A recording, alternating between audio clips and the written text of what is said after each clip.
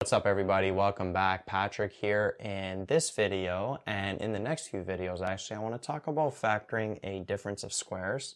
There's going to be tons of examples in this section where you're going to have to factor expressions that are difference of squares. And just to do a little review, if you remember, difference of squares is generally when something is in this format, a squared minus b squared. And this will always factor to a minus b and a plus b. All right, so if you were to expand this, basically the middle terms would cancel out and you would just be left with the first and last term. So simple examples, x squared minus 4. What's the square root of x squared? It's just x, square root of 4 is 2, so we got x plus 2, x minus 2. If you were to FOIL this out, you would end up with that because those middle two terms would cancel out. That positive 2x, negative 2x, net out to 0.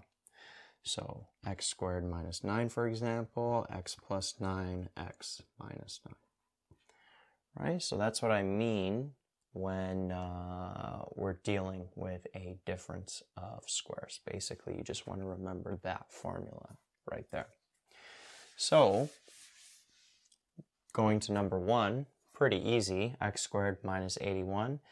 First thing you always want to check actually before I get into this is if you could take anything out because sometimes stuff won't be a difference of squares, but when you factor out the common factor, that remaining bracket ends up being a difference of squares.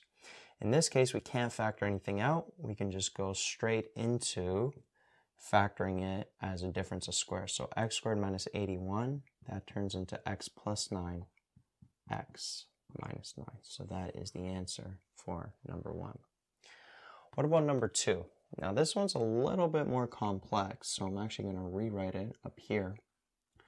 We got x to the power of 4 minus 81. Now x to the power of 4 we can rewrite as x squared to the power of 2 minus 81 right? So we took x to the power 4, rewrote it as x squared squared. And now, notice that that's a difference of squares. We would have the square root of this is just x squared. Square root of 81 is 9, so we got x squared minus 9, x squared plus 9. Right, so the square root of x to the power 4 is x squared it's always just going to be half of that number. So for example, the square root of x to the 8 is x to the 4. The square root of x to the 30 is x to the 15.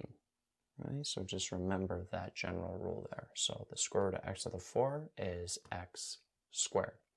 Then the square root of 81 is just 9. So minus 9 plus 9. And then from here, Notice that x squared plus 9, we can't factor that. That's not a difference of squares because there's a plus sign here. But x squared minus 9, that is a difference of squares. We could factor that further. So this factors into x minus 3, x plus 3. And here we're left with x squared plus 9. So whenever you see something in this format, and this has an even exponent, but it's larger than 2, usually what's going to happen is there's going to be multiple times where you have to factor as a difference of squares. So this x squared minus 9 we were able to further break down. And you won't get full marks if you just leave your answer like this. When they say factor, they want to have as many brackets as possible. So x to the power 4 minus 81, that is x minus 3, x plus 3, and then x squared plus 9. Remember, x squared plus 9, pretty much x squared plus any number where a is greater than 0. This can't factor in general. All right. So that there is the final answer for number two. What about number three? We got uh, 3x squared minus 48. So rewriting this up here, Notice this almost looks like a difference of squares, but notice that we can't take the square root of 3. That's not a smooth number. And we can't take the square root of 48. That's not a smooth number either. But what we can do, what we always have to check for initially, can we take anything out of both expressions? And notice from both of these expressions we could take out a 3. So if we take out a 3, this divided by 3 is just x squared minus 48 divided by 3 is just 16. And now notice x squared minus 16, that is a difference of squares. So 3 bracket this x squared minus 16 breaks down into x minus 4, x plus 4. So remember, whenever you're doing factoring, first thing you're always checking, can you take anything out?